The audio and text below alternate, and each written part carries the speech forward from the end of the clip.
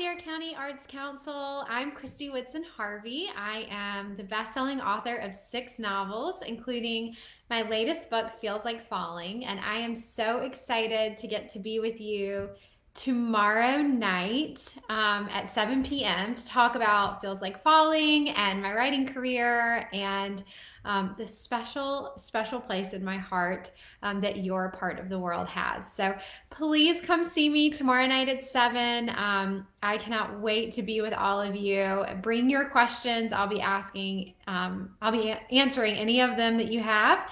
And um, I'll look forward to seeing everybody then.